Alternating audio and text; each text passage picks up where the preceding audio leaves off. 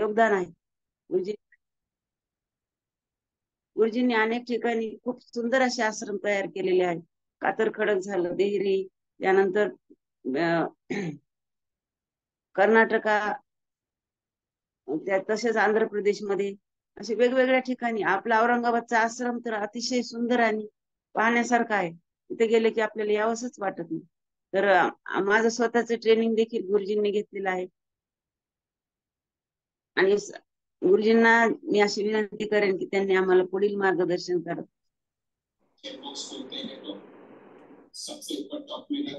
जय गुरुदेव.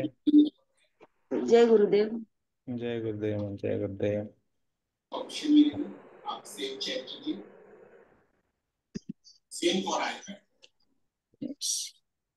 हो, माईक कोणाचं चालू असेल तर बंद करा कारण का आवाज जय गुरुदेव. पावसाळ्याच्या सर्वांनी एन्जॉय करायला लागलेत वाटतं बहुतेक. ओके सो आजचं जे टॉपिक आहे फाईव्ह फंडामेंटल एज्युकेशन बरंच दोन तीन वर्षापासून एज्युकेशन सिस्टीममध्ये जे बाहेरचे जे चाललेलं आहे एस्पेशली आपल्या देशामध्ये बरंच सिस्टीम बदलत आहेत. ओके सो पूर्वी अर्ध डिग्री सोडलं असलं तर त्याला दिलं नाही जायचे सर्टिफिकेट वगैरे.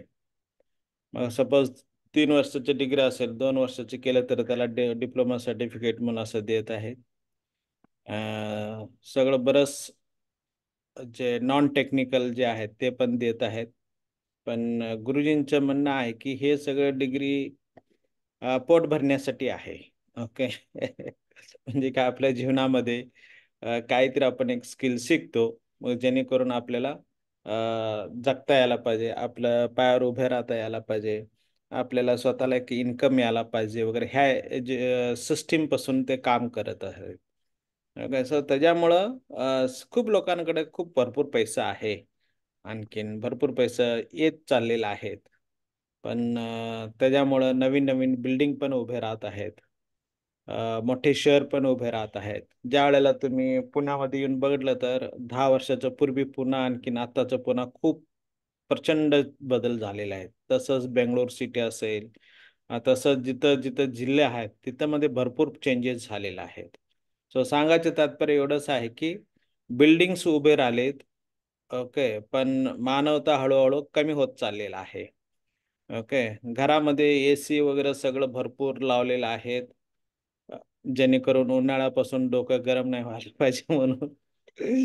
पण एसी मध्ये पण गरम व्हायचे कंडिशन झालेलं आहेत. सो कारण की एज्युकेशन सिस्टीम जे आहे जे अडॉप्ट केलेलं आहे ते खूप धोकादायक आहे असं गुरुजी सांगत आहेत. आपण गुरुजींच्या थ्रू थोडंसं समजून घेऊ की त्यांना काय म्हणायचं आहे आणखीन काय सिस्टीम आहे आणि कुठल्या पद्धतीनं राहायला पाहिजे ते आपण थोडंसं बघून घेऊ. ओके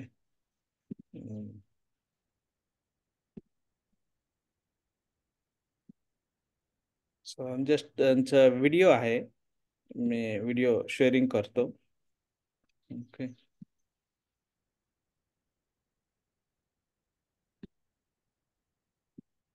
सर्वांना दिसतो. बहुतेक तुम्ही एकदा ऐकलेला असाल. दिसते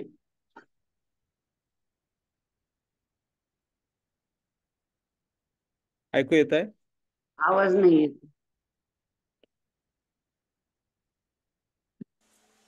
In the modern times, आता reading, writing, and arithmetic is considered education. but now you will really realize what is the five fundamental educations that one must learn to be a free bird in the world. Okay. To enjoy life, you require five fundamental educations. Life is not a preparation for working. Education is not a preparation for earning money. Life is not to work like a donkey. Okay.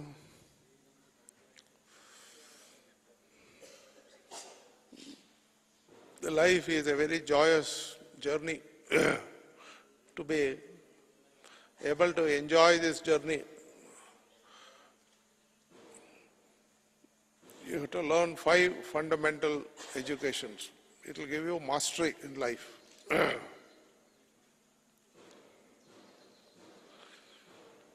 the first level of mastery one must get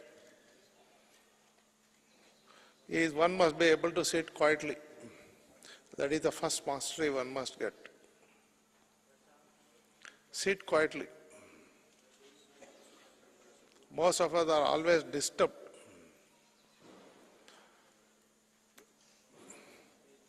We always think that by somebody else is disturbing us, something is disturbing us, and we have to change the situation to free ourselves from that disturbance. If a dog is barking, then we have got to shoot the dog so we can experience quietness.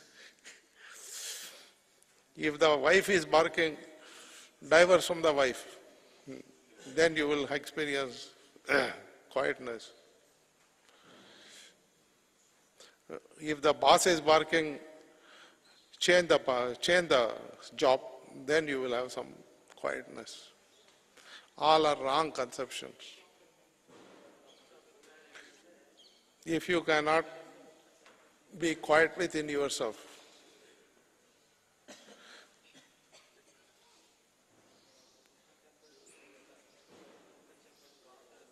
then you are not at all educated. You may have a PhD, but if you can't sit quietly, you are a fool.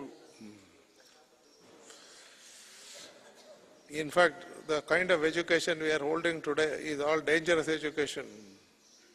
The more they study, the more frustrated they are. Maximum number of suicides is among the PhDs. If a person does not pass in their 12th, they commit suicide. This education is a dangerous education. The more you get educated, the more you are liable to be unhappy. Better don't get educated by this system. This triple R education is a dangerous education. No child who has failed seventh, they will can't commit suicide. They will happily move on.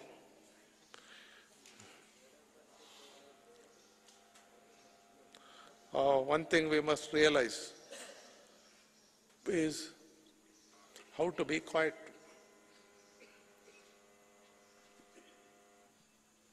To sit silently is the first art and science one must learn. Not to be disturbed by anything happening outside. And be able to be within yourself. Not be disturbed. And eh, then start enjoying your own silence.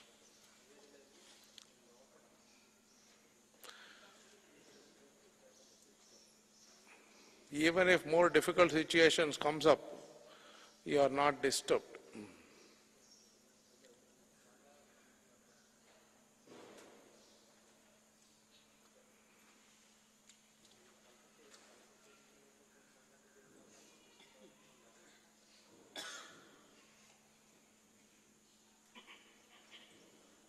If an executive is fired from the job, he is liable to have a heart attack. काय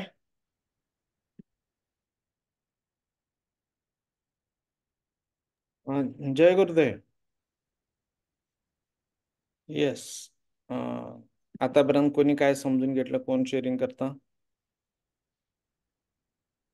सांगू गुरुजी हा अं, शिक्षण आपण जे सध्याचं शिक्षण घेतो ते ते जीवनात काहीच उपयोगाचं नाहीये.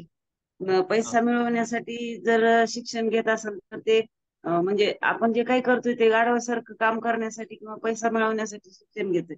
म्हणजे तर ह्या शिक्षणातून आपल्याला आनंदी जीवन जगायला मिळत नाही. समजा आणि नेहमीच आपल्याला असं वाटतं की आपण बाहेरून कोणीतरी आपल्याला डिस्टर्ब करतंय. बॉस म्हणा किंवा पत्नी म्हणा किंवा म्हणजे आपण आतून शांत राहत नाही आणि आतून शांत नसल्यामुळं बाहेरचं जे जग आहे त्याच्यापासून आपण डिस्टर्ब होत आहोत. आणि जास्तीत जास्तीत जास्त डिस्टर्ब झाल्यामुळं म्हणजे माणसाची प्रवृत्ती आत्महत्या करण्यापर्यंत सुद्धा जाऊ शकते. आणि जर समजा आतून जर आपण शांत असाल खरं शिक्षण ते आहे की जर तुम्हाला आतून शांत व्हायला पाहिजे बाहेरून किती किती डिस्टर्ब झाला तरी ते तुमच्यासाठी डेंजरस नसेल. बरोबर. गुरुदेव. यस अजून दुसऱ्याने कोणी ऍड करू शकता? सो गुरुजी काय सांगले ते किंवा तुमचा अनुभव काय असेल तर ते पण. म्हणजे की जे प्रसंग वगैरे काय घटना घडलेल्या असतील ज्या वेळेला तुम्ही शांत होता त्यावेळेला कसं झालं? किंवा ज्या वेळेला तुम्ही डिस्टर्ब होता त्यावेळेला काय झालं वगैरे? नंतर कधी कधी रिअलायझेशन होतं ना. तसं अनुभव पण शेअरिंग करू शकतो.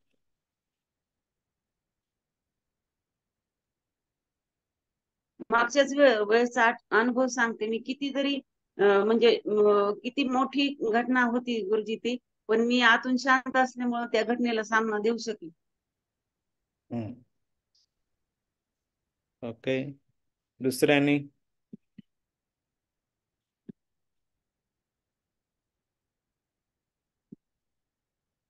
गुरुजींनी लास्टला सांगितलं की शांत बसा सायलेंटलीच बसा डिस्टर्ब होऊ नका. बाहेरच्या गोष्टीमुळे डिस्ट्रॅक्ट होऊ नका. म्हणजे किती काही होऊ दे तुम्ही डिस्ट्रॅक्ट होऊ नका. आणि असं म्हटलं की जेवढं तुम्ही जास्त स्टडी कराल तेवढं तुम्ही जास्त फ्रस्ट्रेट व्हाल. आणि तुम्ही अनहॅपी राहाल. कधी खुश राहणार नाहीत तुम्ही असं त्यांनी सांगितलं. बारावीला जर फेल झालेला मुलगा झाला तर तो सुसाईडच्या मार्गावर जातो. असं त्यांनी सांगितलं. लास्टला एंडला रिझल्ट जर म्हणायचं झालं तर त्यांना म्हणायचं असं आहे की तुम्ही शांत बसा सायलेंट बसा. बाहेर बाकीच्या डिस्ट्रॅक्शनपासून सावध राहा. डिस्ट्रॅक्ट होऊ नका. असं म्हटलं. व्हेरी गुड जय गुरुदेव. जय गुरुदेव. हा. आणखीन?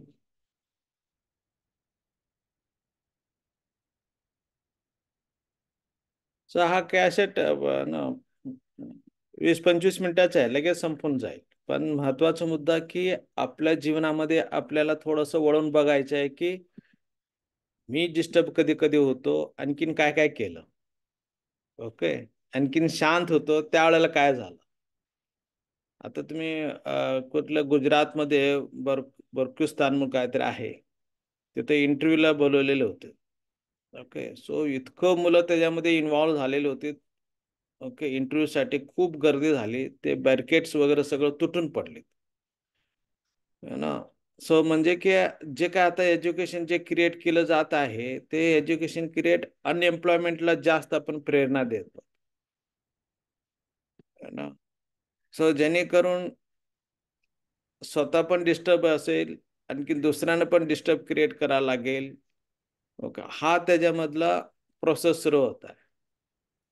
पण ज्या वेळेला गुरुजींनी जे सांगत आहेत की ज्या वेळेला आपण शांत राहू मग त्यावेळेला आपोआप क्रिएटिव्हिटी समजायला लागतो किंवा निर्माण व्हायला लागतो की आपल्याला काय करायला पाहिजे. शांतपणाने सुचलं जातं. मग त्याच्यापासून चांगलं कार्य व्हायला लागतं. त्याचं असं नाही की शिक्षण नाही घ्यायला पाहिजे. शिक्षण अवश्य आहे. ओके. पण ते शांततेपासून घेणं हा खूप महत्त्वाचा रोल आहे. आता आपण बरेचदा पेरेंट्सने विचारतो तुमच्या मुलांना शाळेला का घालतो? मग त्यांना वाटते की नाही दोन पायावर त्याने उभे राहायला पाहिजे.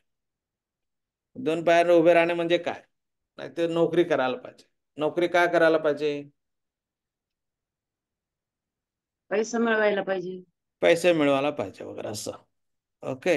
म्हणजे की त्यांचं विचार जे आहेत लिमिटेड आहे. ओके. पालकांमध्ये असं नाही वाटत की माझे पोरग जिम जबाबदारी घेईल आणखीन हजारो लोकांना नोकरी क्रिएट करून देईल बोलायचं. हा कॉन्शियस नसतो. सो जे काय लिडरशिप राहतील ते मॅक्झिमम तुम्ही बघितलं जे जबाबदार राहणारे लोक किंवा लिडरशिप क्वालिटी त्यांच्यामध्ये असेल त्यांच्यामधलं एक जे गुण आहे ते खूप शांत राहते. बाहेरचं काय म्हणत आहे समोरचं काय म्हणत आहे ते सगळं नीट व्यवस्थित ऐकून घेतलं जात असतं. सो जो डिस्टर्ब असेल तो ऐकून घ्यायच्या तयारीमध्येच नसतो. आणखीन ऐकून घेतो अर्धवट ऐकून घेतो आणखीन सगळं काम अर्धवट करायला लागतं. त्यामुळं गुरुजी सांगत आहेत की अगोदर फर्स्ट विद्या कुठलं पाहिजे? नो डाऊट डिग्री वगैरे हे सगळं सांगत आहेत. ओके हे सगळं हे सहजपणे कधी येऊ शकतो? डिग्री वगैरे. शांतता. ओके शांतता असेल तर कॉन्सन्ट्रेशन वाढतं. स्थिरता असेल बुद्धिशक्ती पण स्थिर व्हायला लागते. मन चंचल नाही राहत. मग आपण काय करतो ते सोडूनच देतो ओके सगळं आपण जे करतो विथ डिस्टर्ब माइंड कर मग आपलं माइंड डिस्टर्ब असेल तर आपण कुत्र्याला काय करतो गुरुजी जे एक्झाम्पल सांगितलेत की मारूनच टाक ओके आपल्याला माइंड डिस्टर्ब असेल तर जाऊन दे हे बायको नको हिच्यापासून खूपच डोक्याला टकाट टकाट कट टक टक कटकट वाटायला लागले हिला चेंज करून दुसरं घेऊन येऊ किंवा नवऱ्या खूपच त्रास देतो ह्याला सोडून दुसरं अजून एक करू लग्न. ओके? सो हा प्रोसेस ओके पुढं गुरुजी सांगत आहेत की ठीक आहे बाबा ते कंपनीमध्ये जॉब बरोबर नाहीये तिथं खूपच त्रास व्हायला लागले बरंच कटकट आहे वातावरण बरोबर नाही मग त्याने चेंज करतात. मग तुम्ही किती कंपनी चेंज केलं तर काय त्याचं सोल्युशन नाहीये. किती बायकोनं चेंज केलं तर ते सोल्युशन नाहीये. ओके? सो बाहेरचे जे सिच्युएशन किती पण असतील त्या प्रसंगला आपण तिथून पळून पळून कुठं जाणार आहोत? ओके सो एकदा तर आपल्याला त्याला समोर जावंच लागतं. म्हणजे की समोर जायची क्षमता जे केव्हा येतो? आपलं स्थिरतापासून यायला लागतो. मग सगळ्यापेक्षा महत्वाची विद्या जी आहे ओके जे ऋषीमुनींनी आपल्याला सांगितलेत त्यांनी कसं पोट भरायला पाहिजे हे नाही शिकवलेत. आपलं मन कसं स्थिर ठेवायला पाहिजे शांत कसं ठेवायला पाहिजे हे महत्त्वाचे विद्या सांगितलेत ओके? सो नो डाऊट हे सगळं धर्म अर्थ काम मोक्ष हे सांगितलेलं आहेत. पण धर्मानं वागण्यासाठी मेन काय लागतो मनाचा? शांतता लागतो. ओके? सो ते गरजेचं आहे. ना सो त्या पद्धतीनं जसं ते म्हटलेत की सुसाईड करायचं आपण टेंडेन्सी बघतो. हे जास्तीत जास्त सुसाईड कोण करते? माणसंच करते. आणखीन ते पण डिस्टर्ब असलेले लोक करते. म्हणजे की बिझनेसमध्ये लॉस झाला चला सुसाईड करून घेतला. ओके किंवा कोणाकोणाचं जरा पटलं नाही मग त्यांना सोल्युशन वाटतं की सुसाईड केले तर मग संपतो वगैरे पण स्वतः डिस्टर्ब आहे. स्वतःला शांतता ठेवायला पाहिजे. स्वतःला स्थिरता ठेवायला पाहिजे. हे ज्ञान येतच नाही. त्यांना वाटतं माझ्या जीवनामध्ये त्रास दुसऱ्यांमुळे होत आहे. मग दुसऱ्यानं काढलं तर होणार आहे का? नाही. वाटतो टेम्परवरी मग नंतर बाकीच्या परिस्थितीवरून चिडचिड सुरू झालेलं असतो. ओके सो का म्हटलं तर हा मनामध्ये उठणारे जे तरंग आहेत हे सगळे डिस्टर्ब तरंग आहेत. म्हणजे की द्वंद्वाचे तरंग आहेत. तर त्यामुळं स्थिरतापासून कसं करायला पाहिजे? हे अगोदर शिकायला पाहिजे पण गुरुजी सांगते. ओके सो अजून काय सांगत आहेत आपण थोडस बघू. सो आपलं लाईफ एन्जॉय करायचं असेल आनंद जग जगायचं असेल आपल्याला शांतपणे बसता येणे हे खूप महत्वाचं आहे. If an ordinary laborer is told that you don't have job from tomorrow, he will quite happily goes home and finds another job.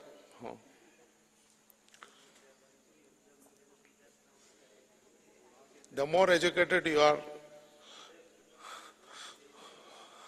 the more difficult it is for to find a job. Okay. In fact, if you are more educated, you should be able to find any job. Huh? But this is all foolish education. It makes you more incompetent to get a job rather than more competent to get a job. Huh?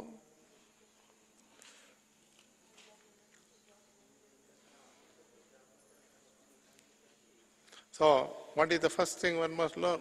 Not to be disturbed by what is happening outside.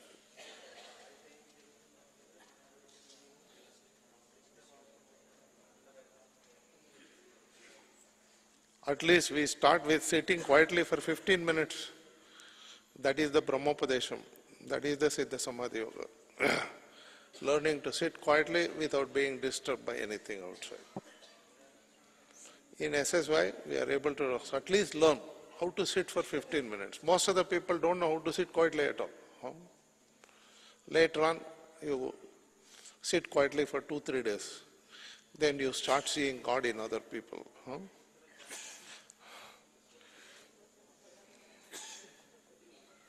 I tell you, if you are able to sit quietly for three hours uh, in samadhi, I am sure that you will not encounter any disturbance in your life.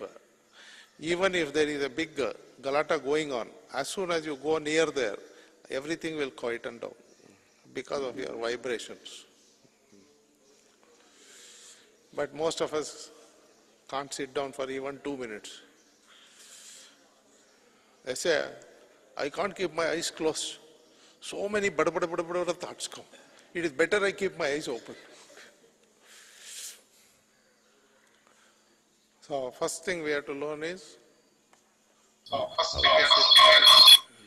this is called Akasha Tattva education. To be free. To be free within. So that the outside does not disturb you. This is called Akasha Tattva education. First element. In fact, it is the subtlest element, but that is where it starts. Silence and freedom. Now, not to be disturbed by outside is one thing, but now we go to the next level. How you enjoy the outside.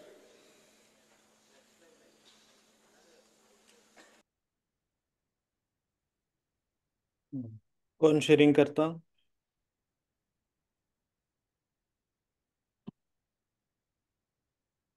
हा दुसऱ्याने पण sharing करा हा. म्हणजे की तुम्ही ज्या वेळेला शेअरिंग कराल अ, तुमचं अंडरस्टँडिंग यानी की समज जास्त वाढायला लागतो. ओके हा. शेअरिंग करू शकता राधा. जय गुरुदेव गुरुजी. जय गुरुदेव. अं, या ठिकाणी गुरुजींनी अ, आकाश तत्व एज्युकेशनबद्दल सांगितलंय हम्म, अ, की आपल्याला सायलेंट राहता आलं पाहिजे. म्हणजे हम्म, आजूबाजूची परिस्थिती कशी असली अ, हम्म. तरी आपण अ, अ, त्याला लगेच प्रतिक्रिया न देता आपल्याला मनातून शांत राहता आलं पाहिजे. हम्म. हा एवढं एवढं सांगते. Thank you okay very good very good okay म्हणजे काय ह्याच्यामध्ये तुम्ही दोन तीन वाक्य सांगितले तरी पण किंवा दोन शब्द सांगितले तर पण ते तुमच्या जीवनामध्ये लक्षात राहतं. आणखी न कळता ते तुमच्या जीवनामध्ये पण वापरायला लागतो. का? ऐकणं एक भाग आहे. मग समजून काय घेतलं ते व्यक्त करणं हा दुसरा भाग आहे. सो ज्या वेळेला आपण ऐकतो मग मनामध्ये एक प्रक्रिया होतो. त्याच्यानंतर आपल्या तोंडातून यायला लागतो. म्हणजे की आपल्या शरीरामध्ये ते कुठेतरी थांबलेलं असतं ते वाक्य. सो त्यामुळं हा बोलतं होणं हा खूप महत्त्वाचा रोल आहे. ओके आपण कधी कधी सगळं मनातच धरून ठेवतो. आणखी ते सगळं तुम्ही हिंदी पिक्चर बघितलेला पण असाल. त्याला सांगायचं असतो प्रेम व्यक्त करायचं असतो तो करतच नाही मग राहूनच जात. ना? तसं हा पण ज्ञानाचं प्रेम आहे. ओके? जितकं आपण सांगत जाऊ व्यक्त करत जाऊ थोडं आपलं ज्ञान वाढत जात. ओके? सो आम्ही युजली सांगत असतो. पैसे देत गेलं तर कमी होतो. पण विद्या हा जे आहे आपण जितकं लोकांना सांगत जाऊ तेवढं आपलं ज्ञान वाढत जातं. पण हे सांगणं सायलेन्समध्ये यायला पाहिजे. शांततापासून यायला पाहिजे. आणखीन मी मागच्या वेळेला बोललेलो होतो की डॉक्टर आपल्याकडून पैसे काय घेतात? ओके आपण पाचशे रुपये किंवा हजार रुपये देतो आणखीन आपल्या जीवनामध्ये काय काय झालेले ते सांगण्यासाठी देतो. म्हणजे की पंधरा वीस मिनिट आपण बडबड बडबड बडबड करतो. मग तो काय एक चिठ्ठी लिहून देतो हे गोळी घ्या म्हणून जावा म्हणतो. ओके. आणखीन तुम्ही होमिओपॅथीमध्ये गेलं तर अख्खं होमिओपॅथी डॉक्टरकडे गेलं तर तुमचं अख्खं हिस्ट्रीच काढते. सगळं हिस्ट्री घेते अगोदर. इवन आयुर्वेदिकमध्ये गेल्यानंतर तुमचं पूर्ण दिनचर्या विचारायला लागतात की बाबा तुम्ही काय काय करत होता काय काय खात होता काय काय तुमचं बोलणं आहे वगैरे असं सगळं. ओके. सो हे सगळं आपण बघत असताना आपल्याला लक्षात येतं की आजार हा भैरून नाही येत आहे. आपलंच कुठेतरी काहीतरी आतलं डिस्टर्बन्स आहे. मग ते डिस्टर्बन्स झाला तर प्रत्येकांचं सोल्युशन वेगळं वेगळं आहे. कोणी जास्त जेवण करतो कोणी प्यायला लागतो कोणी दारू प्यायला लागतो म्हणजे सिगरेट ओढायला लागतो किंवा काहीतरी वस्तू तोडायला लागतो. हा कोणी उपाशी राहतो. ओके सो असं प्रत्येकांचं एक एक एक एक स्वतःच शा डिस्टर्बन्स यानी की द्वंद्व वक्त व्यक्त करण्याचं वेगळं वेगळं मेथड आहेत ओके सो त्यांनी ते टेक्निक धरून ठेवलेलं आहे. त्यामुळे त्यांचं ते पद्धतीने चाललेलं असतं. ओके हा. अजून कोणी शेअरिंग करणार होता? जय गुरुदेव गुरुजी. जय गुरुदेव. पण दोन मिनिटं देखील शांत बसू शकत नाही. सतत बडबड बडबड करतो. आणि समाधी अभ्यासाची खूप आवश्यकता गुरुजींनी याच्यामध्ये सांगितलेली आहे. आणि हम्म. बाहेरील गोष्टीतनं डिस्टर्ब न होता आतूनच मनात शांतता आली पाहिजे हे मला यातून समजले आहे. जय गुरुदेव. फॅन्टॅस्टिक ओके जय गुरुदेव. गुरुजी असं सांगतात की तुम्हाला एवढं नसेल जमत तर तुम्ही जे शिकलेलं आहे ऍटलिस्ट पंधरा मिनिटे शांत बसायला लागा. मग तुम्हाला आपोआपच हे शांतपणा जेव्हा बसत जाल रेग्युलरली तेव्हा तुम्ही आपोआपच आतून शांत व्हा- व्हाल आणि मग तुम्हाला दुसऱ्या मधलं देवत्व दिसायला लागेल की खरोखरच बा आपण बाहेरून डिस्टर्ब नाहीये तर आपणच आतमध्ये डिस्टर्ब होतो त्यामुळे आपल्या जीवनात हे- या गोष्टी घडत होते आणि कुठल्याही प्रसंगाला सामना द्यायची तुमच्यामध्ये ऍबिलिटी येईल असं. सो हा, जय गुरुदेव. हा. बोला गुरुजी सांगता येतं सायलेन्स अँड फ्रीडमबद्दल. तर सायलेन्स एक भाग आणि नेक्स्ट लेवल जे आहे तुम्हाला बाहेर आनंदी राहता आलं पाहिजे. म्हणजे आनंदी राहता येतं. एन्जॉय करता येतं. व्हेरी गुड जय गुरुदेव. मला एक प्रसंग. आठवला. ऍक्च्युली ते मला लक्षात नव्हतं. दुसऱ्याने मला ते समजावून सांगितले की तुम्ही असं केलेलं होता वगैरे असं म्हणून. मग ते मागच्या वेळेला पण मी बहुतेक शेअरिंग केलेलं होतं. ते प्रसंग ॲक्च्युली औरंगाबादचे पी डब्ल्यू डी डिपार्टमेंटमधले ब पासून स्टार्ट होतं. त्यांचं नाव विसरलो. त्यांनी नागपूरमध्ये प्रोग्राम आयोजित केलेले होते एस एस वायचे मग मॅ मी त्यांच्याकडे होतो त्यांच्या घरी पण होतो. त्यांनी मला त्यांचं घटना सांगत होते. म्हणजे की जेव्हा ते मला भेटण्यासाठी पॅटर्न जेलमध्ये आलेत. मी पॅटर्न जेलमध्ये क्लास घेण्यासाठी होतो हां. लोकांना परत काहीतरी वाटेल. पैठण जेलमधले जे आहेत ओपन जेल जे आहेत तिथल्या कैदी लोकांसाठी मी क्लास घेत होतो. सकाळी आणखीन संध्याकाळी राहायचे दुपारी वाजता टाइमपास काय करायचं म्हणून मी ते विचार करत होतो. आणखीन तिथं बांध जे आहे तिथं आम्ही ते डॅममध्ये पोवायलाच जायचो. मग माझ्याबरोबर एक पाच सात जण होते. ते एक नंदू म्हणलं तर नाव विसरलो त्याचं. ते खूप जाड होता. ते आ? नानू. नानू येस तो खूप जाड होता. आणखीन मासे पकडणारे लोक ते त्यांचा एक चप्पू म्हणून असतो. एक जे थर्मोकोलचं वगैरे असतो. मग त्याला एवढं जास्त पवता येत नव्हता. मग तो त्याच्यावर बसला. आणखीन त्यांनी पवत गेला. आम्ही पण पवत मध्ये गेलो. तेवढ्यात मासे पकडणारे लोक लक्षात आलं की हे आमचं चप्पू जे मासे पकडण्यासाठी वापरलं जातं एक डोल सारखं. मग ते वरडावरडी सुरू जोरात झाला. खूप खूप शिव्या द्यायला लागले खूप रागवायला लागलो खूप वरडायला लागलेत. खूपच म्हणजे खूप. मग नानू तो तिथंच मध्येच रडा लागला. ते तो खूपच डिस्टर्ब झाला. मग मी म्हटलं का रे तू काय रडू नको. तू जस्ट शांत राहा. बघू आपण काय होतं वगैरे असं म्हणून. मग आम्ही शांत आलो. आणखीन त्यांचं हे मासेमारी लोकांचं तुम्ही जे लोक असतात ना त्यांच्या शिव्यागाळ्या असेल चिडचिड करणं असेल वगैरे सगळं खूपच डेंजर असतो. मग जोर जोरानं आवाज वगैरे. आपलं आपण जितकं जोरानं वडतो रागवतो शिव्या देतो समजा त्यांचं ते नॉर्मल टोन असतो. आणखीन असं काहीतरी भांडण असेल ना मग त्यांचं टेम्परेचर जबरदस्त वाढलेलं असतं. हाय पिच जोरात वाढलेलं असतं.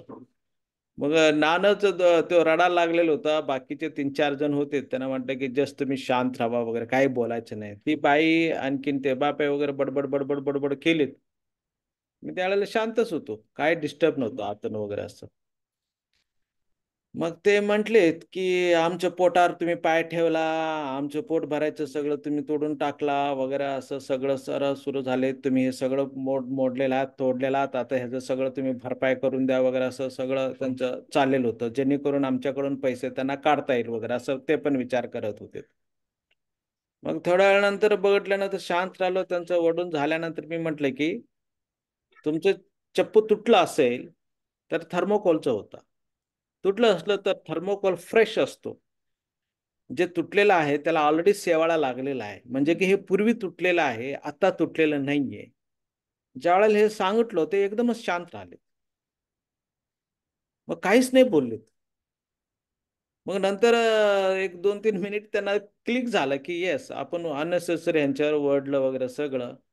मग ते म्हणतात की चला आता आमच्याकडे आमच्याकडे चहा प्याला चला वगैरे असं. मग ते डॅमच्या खाली गेलं. मी म्हणते की नाही आम्ही चहा वगैरे नाही पित वगैरे. नाही नाही तुम्हाला काय पाहिजे ते आपण देऊ. मग आमच्या पाच सहा लोकांना त्यांच्या घरी घेऊन गेलेत. सरबत वगैरे बनवत होते. तेव्हा ते सांगितले तुम्ही एक शब्द काहीतरी बोलला असता तरी पण तुम्हाला खूप हांडलं असतं वगैरे असं म्हणून. ओके? हे मला माहीत नव्हतं. त्या प्रसंगमध्ये किंवा मला भेटायला आलेले होते ते मला सांगत होते की तुमचं असं असं झालेलं होतं म्हणून नागपूरमध्ये मला एक्सप्लेन करत होते. सो सायलेन्स हा अतिशय महत्त्वाचा भाग आहे. डिस्टर्ब न होता आपण शांतपणेनं निर्णय घेऊ शकतो. त्याचं सोल्युशन आपण नीट व्यवस्थित त्यांना काढून देऊ शकतो. किंवा आपोआप सुचलं जातं. ओके सो हे सगळं कुठून येतो? सायलेन्सपासून येतो. सो त्यामुळं वारंवार मेडिटेशन करणं. म्हणजे की दर दिवशी दिवसातून दोनदा मेडिटेशन किंवा तीनदा करणं.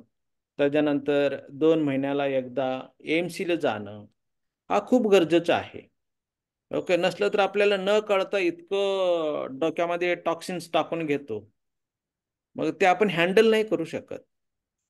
मग ते तेच आपल्याला सायकोलॉजिकल डिस्टर्बन्स व्हायला लागतो. मग हळूहळू सायकिक व्हायला लागतो. मग ते खूप महत्वाचं आहे की तुम्ही किती कमवतो ह्याला शून्य आहे. पण तुम्ही किती शांत राहता हे खूप महत्वाचं आहे.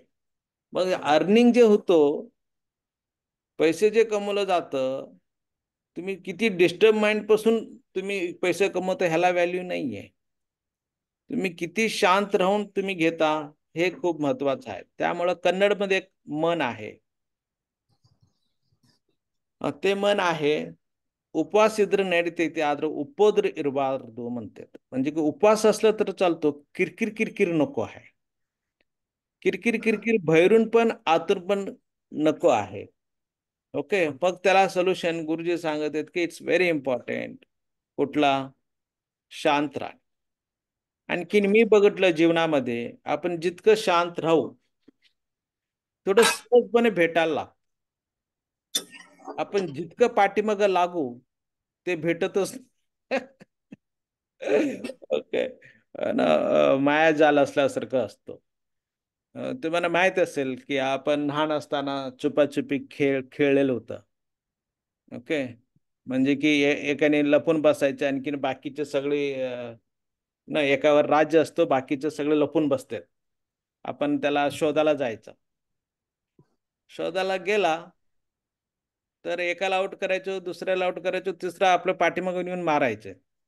परत आपल्यावर राज येतो परत आपल्याला बसायचं आहे मग सगळे लोक लपून बसतात सर सगळं पोरं लपून बसतात परत त्यांना शोधायला जायचा. हा गेम आपण लहान असताना खेळलेलो होतो.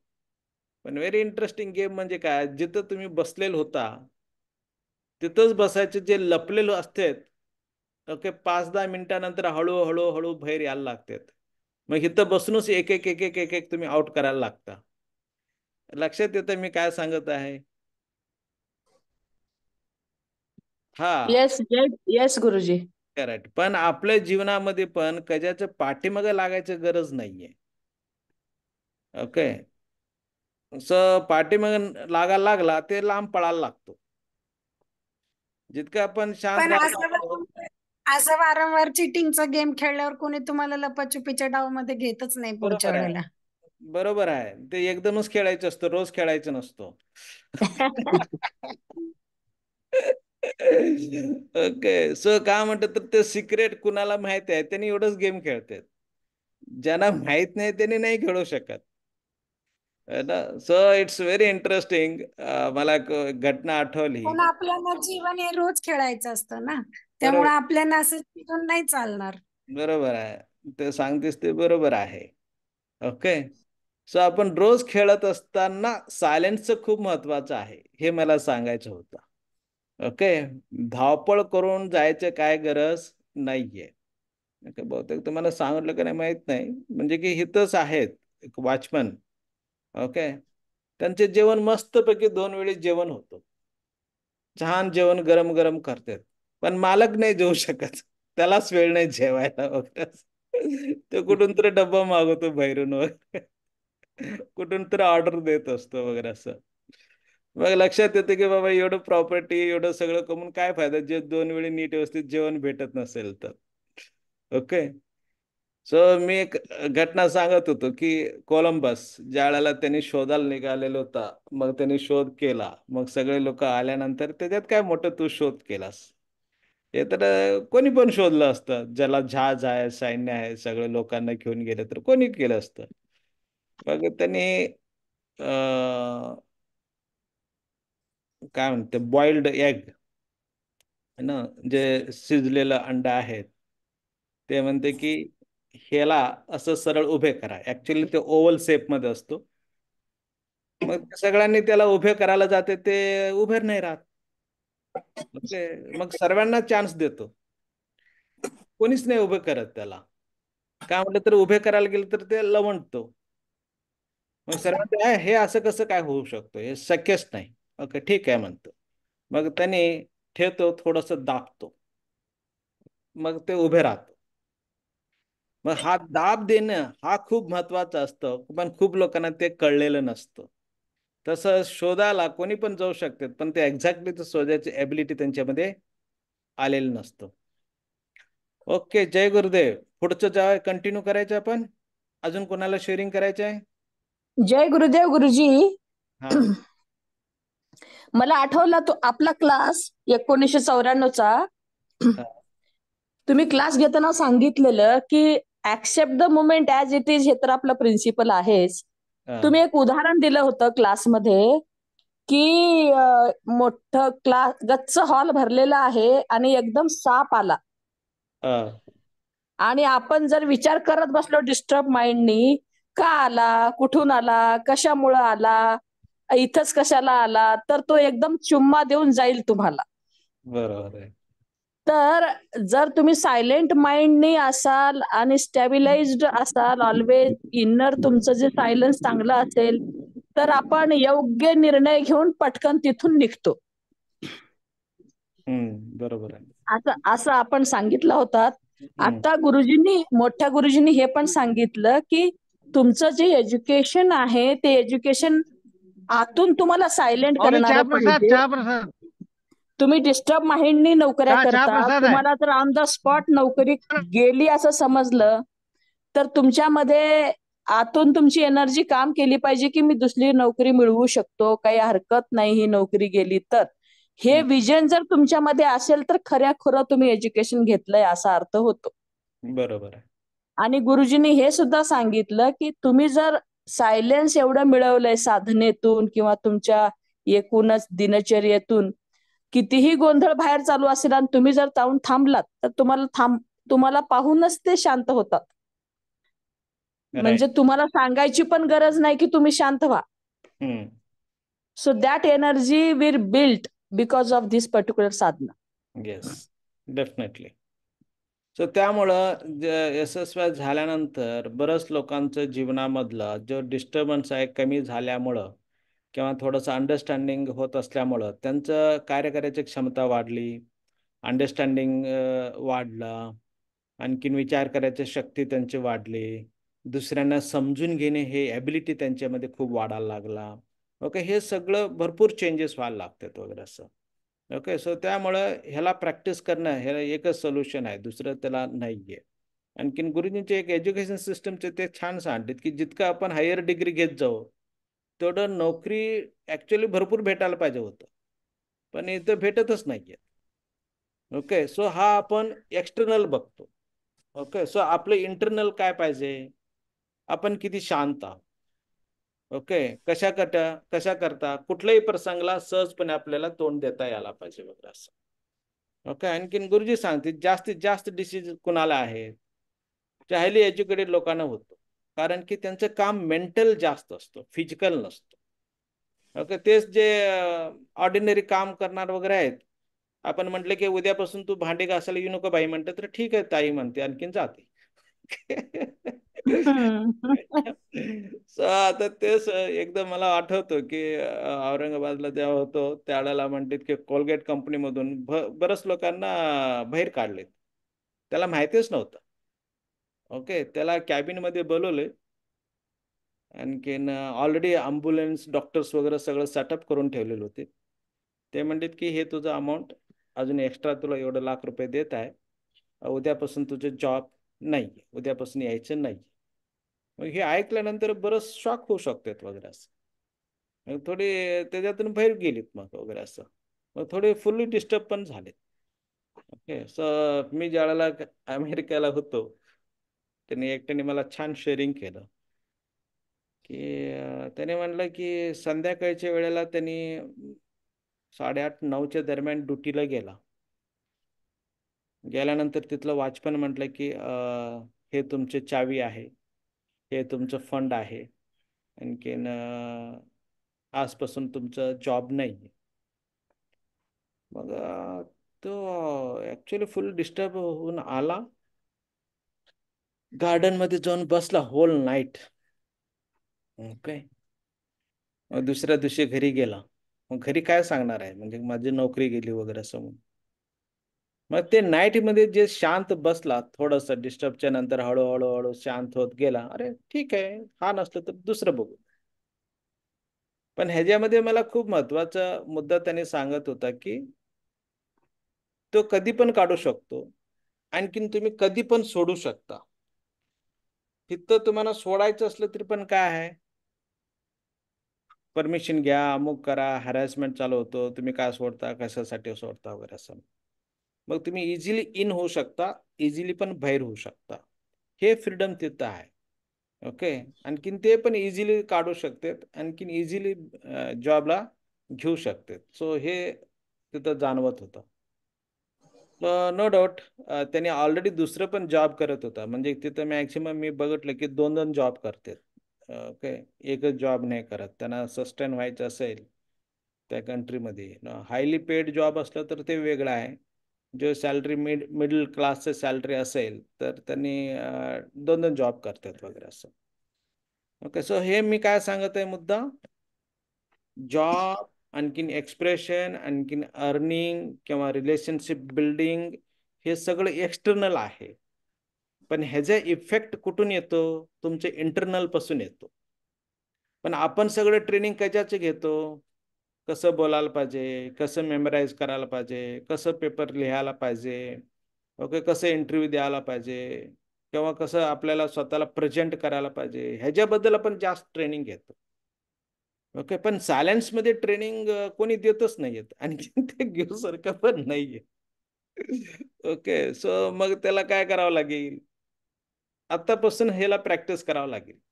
ओके सो गुरुजींनी हायेस्ट जे गिफ्ट दिला अख्खा जगाला ते सायलेन्सचं गिफ्ट दिलेलं आहे. Okay so no doubt Raman Maharshi ते पण तुम्ही तिरुन तिरुवनंतपुरमला गेला. तर तिथं काय बोलत नाहीये. रम रमण महर्षीचा आश्रम आहे. तिथं जाऊन तुम्ही तीन दिवसपर्यंत राहण्याचं जेवणाचं सगळं सोय आहे. पण एकच काम आहे तिथं फक्त सायलेन्स बसणे. आणखी जितकेही लोक गेले त्यांच्याकडे ज्यांचे प्रश्न होते फक्त त्यांच्या जवळ राहिल्यामुळं त्यांच्या सानिध्यामध्ये असल्यामुळं त्यांच्या प्रश्नाचं उत्तर आपोआप त्यांना भेटून जायचे. पण ते काही एक शब्द नाही बोलायचे ओके सो हा महत्त्वाचा मुद्दा आहे की पहिला जे विद्या आहे ते आपलं स्वतःला ओळखून घेणे स्वतः शांततेमध्ये राहणे. ओके सो त्यामुळं भगवद्गीतामधलं पंधराव्या अध्यायामधलं पहिला श्लोक होतो ऊर्ध्वमुद शाखम वगैरे असं. म्हणजे की ब्रँच जे आहे बाहेर जितकं आपल्याला दिसतो झाड त्याला मेन कारण असतं की त्याचं रूट. पण हा रूट जे आहेत मुळा जे आहेत जमिनीमधले हे कधी दिसत नाही पण झाड उभे राहण्यासाठी जे भैर आपल्याला जमीनच्या वरचे दिसतो त्याला सगळं मेन कारण असतो ते आतमधलं. तसं आपण किती आत बसून सायलेन्स आहोत त्याचं व्यक्त जे होतो बाहेरच्या रूपामध्ये आपल्या क्रियापासून आपलं वागणं बोलणं राहणं क्रिएटिव्हिटी हे सगळं दिसायला लागतं. ओके सो कुणाला ऍड करायचे आहे? सर्वांनी खूप छान शेअरिंग करतात जय गुरुदेव. जय गुरुदेव. मला एक अनुभव सांगायचा आहे. माझं लग्न झालं तेव्हा चार नंबरचे देर होते बारावीला होते ते. आणि ते बारावीला विषय त्यांचा गेला. त्यांना खूप टेन्शन आलं की बारावीला नापास झाला कसं होईल याचं? तर तो एकदम शांत काहीच त्याचा रिप्लाय नाही. आणि नंतर ते रिपीट परीक्षा देऊन एमबीए केलं. आणि आज तो अजंता फार्मामध्ये एच आर आहे. म्हणजे अपयश ही यशाची पहिली पायरी आहे हे त्यांनी सिद्ध केलं. आणि आज सगळ्या चौघामध्ये तो पुढे तर हे मला सांगायचं जय गुरु. जय गुरुदेव. गिरीशजी काय सांगायचे आहेत?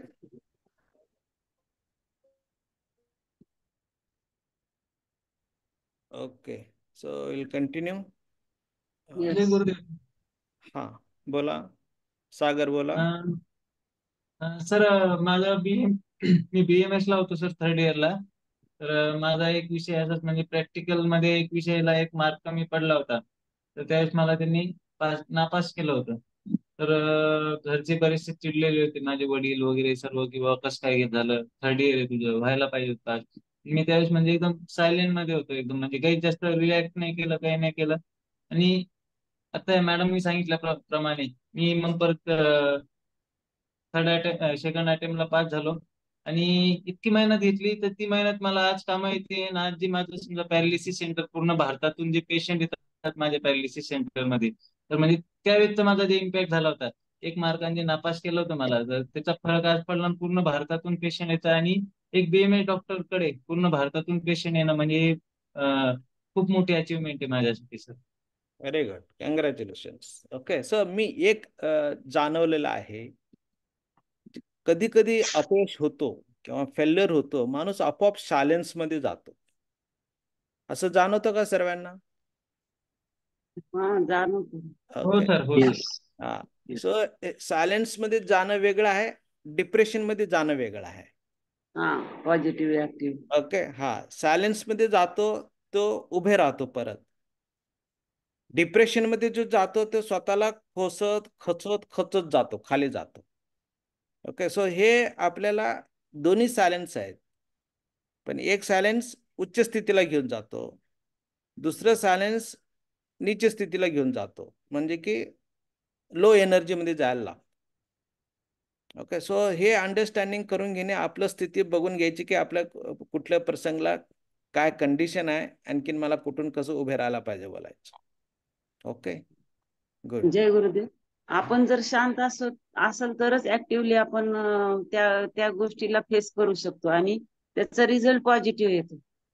आणि जर नसेल तर मग डिस्टर्ब डिस्टर्ब होऊन जातं की हे व्हायला नाही पाहिजे होतं हे असं कसं झालं म्हणत म्हणत मग तो डिप्रेशनमध्ये जातो.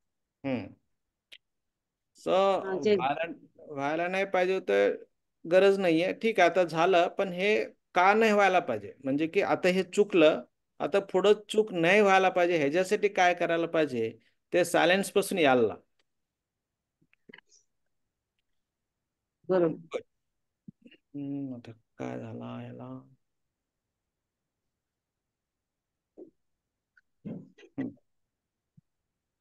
दिसतो level is called Vaya Tattva education. अं, नाही आवाज येते एक मिनिट हा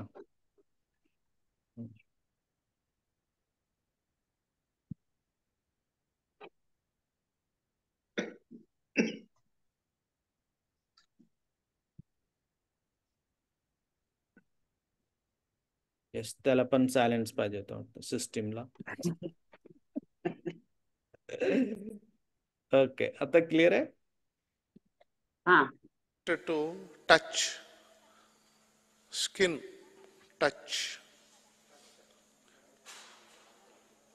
The second education is how to touch other souls, touch another person, how to touch another soul. We touch body touch. We can have several kinds of interactions body interaction, mind interaction, heart interaction, soul interaction. Okay? Body interaction is husband and wife are there together in the same room, but they don't love each other. So they somehow get along. Okay.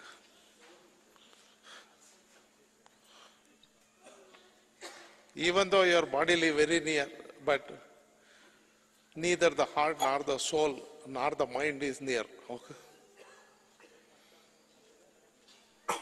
So if you are able to touch another person at a soul level, it has no soul, doesn't have any man, woman, child, adult.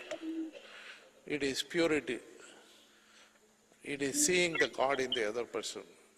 If you are able to touch the other person at a soul to soul level, then you have a wonderful presence. you have the presence of God around you.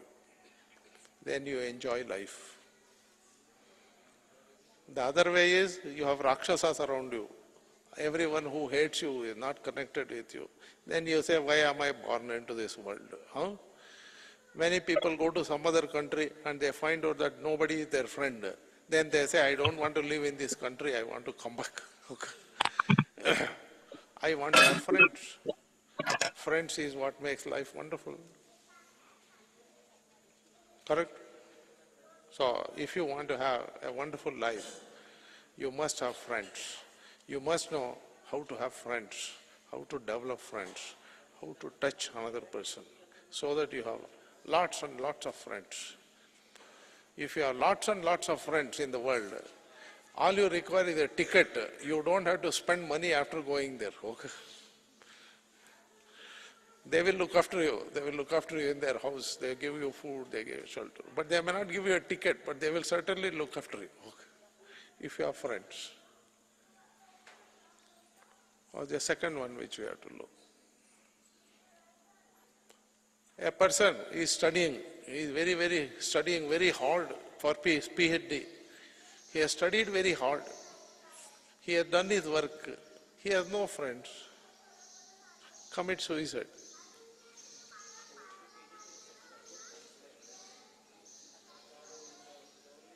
Friends is life. Either in the form of a mother, father, teacher, friend, or a wife. Wife has to be first a friend. Otherwise, it is just hell.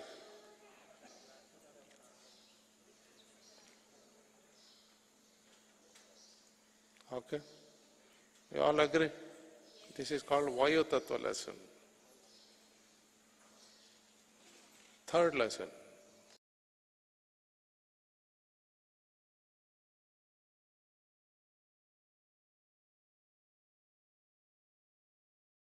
हा जय Gurudev yes so कोणी सांगता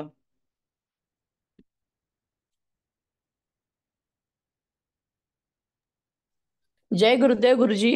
हा जय गुरुदेव. वायू तत्वाबद्दल गुरुजी बोलले. की तुमची wife ही wife तर आहेच पण तुम्हाला ती कायम मैत्रीण वाटली पाहिजे. आणि आपला व्यवहार एकमेकांशी कायमचा एक मैत्रीच्या रूपातलंच पाहिजे. आणि तुमचं हे वायू तत्व जो थर्ड स्टेप ऑफ एज्युकेशन आहे हे एज्युकेशन म्हणजे ह्या लेवलला गेलं पाहिजे. की तुम्ही जेव्हा कुणाशी बोलता संवाद साधता तर त्यांच्या सोलला टच झालं पाहिजे तुमचं म्हणणं. म्हणजे that will be a soul to soul conversation आणि असं जेव्हा होत राहील सोसायटीमध्ये आपल्या आजूबाजूला तर तुम्हीच गॉडली पर्सन आहात त्यांच्यासाठी. म्हणजे गॉड या सच काय पृथ्वीवर येणार नाही पण तुमचा सोल एवढं पवित्र असेल. एवढं निरपेक्ष असेल आणि तुम्ही ज्यांच्याशी संवाद साधाल त्याचा सोल सुद्धा समाधान होईल शांत होईल. आणि असं जेव्हा होत राहील तेव्हा तुम्ही खूप सारे तुमचे मित्र निर्माण कराल मैत्रिणी निर्माण कराल. आणि असं जेव्हा होईल तेव्हा ते तुमचे काळजीवाहू होतील. तुम्हाला तुमची काळजी करायची गरजच राहणार नाही. आणि तिकीट सुद्धा काढायची गरज राहणार नाही ते स्वतःच तुम्हाला बोलवतील की या तुम्ही माझ्याकडे. आणि एवढंच नाही तर तुमचं संगोपन पण ते तेवढ्या दिवसापुरतं करतील. आणि अशा पद्धतीने तुम्ही एक गॉडली पर्सन होऊन जाल. तर हे ज्याच्यामध्ये आहे तो पर्सन म्हणजे wonderful person. And that person you for me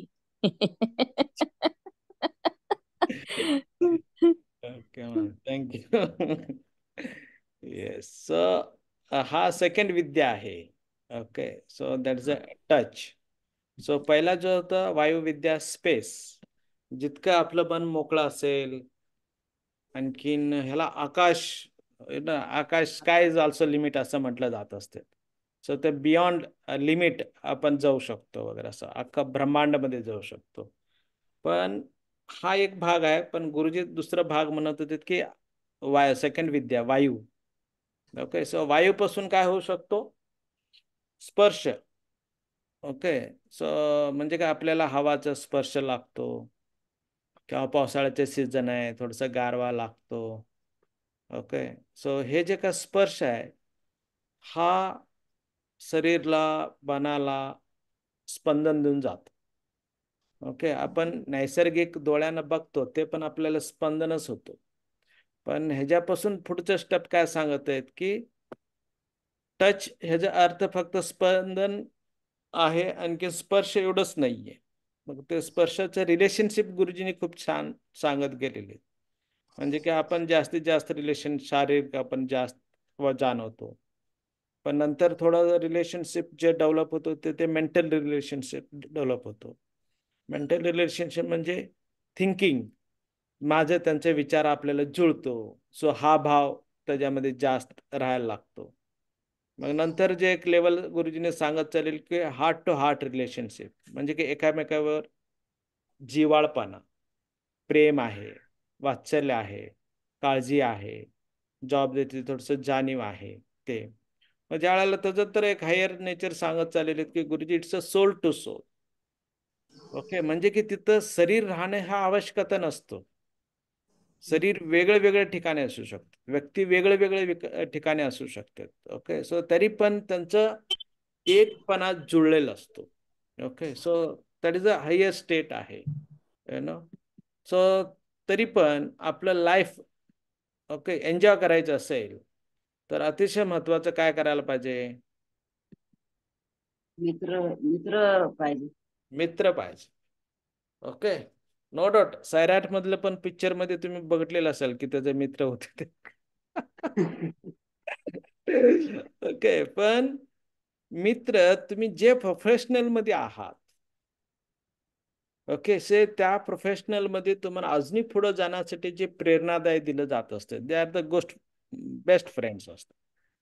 जसं आपण शिवाजी महाराजांबद्दल ऐकतो म्हणजे की ते फक्त राजे त्यांच्यामुळे नाही झाली त्यांच्या आजूबाजूला जे मित्र होते ते विचारक होते किंवा चांगलं डायरेक्शन दाखवायचे आणखीन त्यांच्यासाठी पाठीमागे उभे राहायचे. जीव द्यायचा प्रसंग आला तर द्यायची पण तयारी होती. सो त्या कॉन्शियस लेवलमध्ये आपलं फ्रेंडशिप वाढणं खूप गरजेचं आहे. Okay so that is a highest state आणखीन गुरुजी खूप छान सांगितलेत की बरेच लोक जातात अमेरिकाला. किंवा वेगळ्या वेगळ्या कंट्रीमध्ये जाते कामं करतात मग तिथं कोणी फ्रेंड्स नाही म्हटलं तर पळून येते. ज्यावेळेला मी इथं पुण्यामध्ये मगरपट्टा हडपसरमध्ये यमडॉक म्हणून कंपनी आहे आय टी कंपनी आहे तिथं मी प्रोग्राम घेत होतो. त्यावेळेला म्हटलं की नाही मला काय जमलं नाही मी तीन महिने इस्रायलमध्ये होतो. ते ॲक्च्युली इस्रायलचं कंपनी आहे सॉफ्टवेअर डेव्हलपचं वगैरे सगळं. ते म्हणले की मी तीन महिन्यानंतर मला कंटाळा मी सोडून आलो म्हटले जॉब तिथलं. ट्रान्सफर करून घेतली. सो तुम्ही एन्जॉय एक वस्तू बरोबर जास्त दिवस नाही करू शकत. की टी व्ही बरोबर असेल मोबाईल बरोबर असेल ओके पण व्यक्ती बरोबर तुम्ही सहजपणे राहू शकता आणखी त्यांची एक ऊर्जा आपल्याला भेटत असतो. ओके फक्त राहणं एवढंच आपल्याला ऊर्जा देऊन चाललेलं असतो भले ते नाही बोलत असला तरी पण. ओके किंवा एक मन प्रसन्नता वाटायला लागतो. सो जितकं आपल्याला लाईफमध्ये फ्रेंड्स असतील तो जो जॉय राहतो एक्सप्रेशन असतो किंवा थोडंसं मोज मजा करणं असू शकतो छेडाछाडी करणं असू शकतो म्हणजे की टीजिंग पण करणं असू शकतो चांगलं मार्गदर्शन करणं असू असू शकतो कुठल्याही फंक्शनला धावून मदत करण्यासाठी येऊ शकतात वगैरे असं. ओके सो त्यामुळं फ्रेंड्स तुम्ही शिकत असताना तुमचं लहान असताना मैत्र जे काय मित्र मैत्रिणी हे खूप सपोर्टिव्ह असतात. अजूनही बरेचदा कधी कधी जुने तुम्हाला भेटतील तुमच्या क्लासचे किंवा कॉलेजचे अजून तुम्हाला ऊर्जा यायला लागतो. असं जाणवतो का नाही जाणवत? जाणवतो निरपेक्ष भावनेतून केलेलं प्रेम असतं. त्या त्याच्या पाठीमागे कुठली भावना नाही काय नाही. दुसऱ्याची वेदना कळून म्हणजे आपल्या आपल्यालाच ती गोष्ट होती आपल्या बाबतीत. ही भावना असते त्या ठिकाणी. म्हणजे की त्यावेळेला इतकं मन भरून येतं की अरे म्हणजे की सगळं तुम्हाला ताजा तवाना व्हायला लागत असतात त्या वेळेचं जोश यायला लागतो. त्यावेळेचं एनर्जी तुमच्यामध्ये जबरदस्त यायला लागतो. आणखीन पुन्हा काय म्हणतात चैतन्य आल्यासारखं वाटायला लागतं. येस लाईफ जगण्यासाठी काहीतरी एक काय म्हणते त्याला कारण असं जाणवायला लागतं वगैरे असं. ओके. सो त्यामुळं जगण्यासाठी काय लाईफ एन्जॉय करण्यासाठी हा अतिशय महत्त्वाचा आहे की कोण जास्त राहायला पाहिजेत. मित्र. मित्र. सो पुढच्या सेशन पर्यंत तुमच्याकडे किती मित्र आहेत त्याचं लिस्ट बनवायचं आहे. सुरुवातीला सांगायचं आहे हा बोला मग. सुरुवातीला सांगायची मित्राची लिस्ट सुरुवातीला सांगायची सत्संगच्या. हा हा हा. ओके. सो त्याला काय करायचं मी सांगेन पण तुम्ही लिस्ट बनवायची सगळी. आणखीन जमलं तर त्यांचा मोबाईल नंबर पण ठेवा. भेटलं तर it's well and good okay. त्यांचा नंबर असला तर चांगलं राहील. ना? तर अच्छा जाऊन दे. आत्ताच सांगून टाकतो. सो एक लिस्ट बनवायची आहे. आणखीन तुमच्या मित्रांना फोन करायचे जस्ट सहज फोन करायचे ओके. सो ह्याला म्हणजे की तुम्हाला एक एक तास घालायची काय गरज नाही. पण रोजचं एक पाच पाच मिनिट एक आठवडभरपर्यंत तुम्ही मिनिमम रोज एक दोघं दोघं तिघं तिघांना फोन करत राहायचं. See see the difference. Energy तुम्हाला जाणवेल. ओके? फरक तुम्हाला कळेल काय झालं ते अनुभव. ओके? सो हे अगोदर करा. आणखीन त्याचा अनुभव आपण पुढच्या सेशनला विचारू. सो कळाला? लिस्ट बनवायची आहे? फोन करायचे आहे? जस्ट त्यांच्याबरोबर गप्पा मारायचे आहे तुमचं काय अनुभव होत आहे तुमचं फिलिंग्स कसं होत आहेत आणखीन त्याला काय जाणवत आहे हे करायचे आहे. आणखीन तुम्हाला संडे भेटलं म्हणून फोन करत बसू नका. रोजच रोजचं थोडस वेळ काढून मित्रांना बरोबर मैत्रिणी बरोबर थोडस पाच मिनिट झालं तरी गप्प मारता यायला पाहिजे. हे आता लर्निंग सेशन्स असेल. नो डाऊट तुम्ही सर्वांनी मेडिटेट करतच आहात. ओके सो हा प्रोसेस आहे. आणखी नेक्स्ट आता मी इथंच थांबवतो. नेक्स्ट जे असेल की गुरुपौर्णिमा आहे. एकोणीस वीस एकवीस. ओके संभाजीनगर म्हणजे औरंगाबाद आश्रममध्ये आहे. त्याच्यामध्ये थोडंसं सायलेन्स अनुभव करण्यासाठी तुम्ही सहभाग घेऊ शकता. आणखीन गुरुपौर्णिमामध्ये तुम्हाला काय शेअरिंग करायचं असेल किंवा क्लास घ्यायचा असेल किंवा तुम्ही काहीतरी प्रिपेअर करून येणार असाल हे मार्गदर्शन करण्यासाठी तसं तुम्ही करून येऊन आपले जे दिलीप पाटील जे आहेत त्यांच्याकडं नाव दिलं तर बरं राहील. मग जेणेकरून व्यवस्थित ते नियोजन केलं जातील वगैरे असं. ओके सो जय गुरुदेव. इथंच मी जय. गुरुदेव. जय. गुरुदेव गुरुजी. खूप छान गुरुदेव गुरुजी. वाटलं जय गुरुदेव गुरुजी. जय गुरुदेव. जय गुरुदेव.